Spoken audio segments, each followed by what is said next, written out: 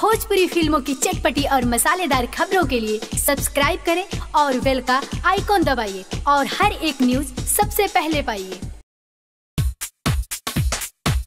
भोजपुरी गायकी के सिरमौर और यंगरी यंगमन पवन सिंह अपनी फ़िल्म को लेकर हमेशा चर्चा में बने रहते हैं। लेकिन इस बार पवन सिंह ने अपने काम को लेकर चर्चा में भोजपुरी इंडस्ट्री में नहीं बने हुए हैं। जी हाँ पवन सिंह ने भोजपुरी की नंबर वन अदाकारा अम्रपाली दुबे के साथ काम नहीं करने के ऐलान से खबर में चर्चा में आ रहे हैं। खबर आ रही है की पवन सिंह ने अभिनेत्री अम्रपाली दुबे के साथ काम करने से मना कर दिया है। फ़िलहाल यह खबर कितना सच है, यह तो पवन सिंह और अम्रपाली ही बता पाएँगे।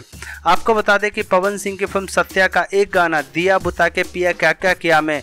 पवन सिंह आम्रपाली दुबे के आइटम सॉन्ग को दर्शकों ने बेहद ज़्यादा पसंद किया था। इस गाने को करीब दो महीने में दो करोड़ से अधिक दर्शकों ने देखकर एक नया यूट्यूब रिकॉर्ड खड़ा कर दिया। आपको मालूम हो कि पवन सिंह की हाल ही में रिलीज़ हुई फ़िल्म तबादला भोजपुरिया बॉक्स ऑफ़िस पर तीसरे सप्ताह भी ज़बरदस्त कमाई कर रही है। आपको बताते चले कि पवन सिंह और अक्षरा सिंह की अभिनीत भोजपुरी फ़िल्म धड़कन प्रदर्शन के लिए बिल्कुल तैयार है। यह फ़िल्म तेईस जून को ईद के मौके पर बिहार और झारखंड के सिनेमाघरों में रिलीज़ किया जाएगा। इस फ़िल्म में पवन सिंह और अक्षरा सिंह का लिप लॉप की सीन सीन दर्शकों को बेहद ही रोमांचित करने वाला है। भोजपुरी गॉसिप से राहुल शर्मा की रिपोर्ट।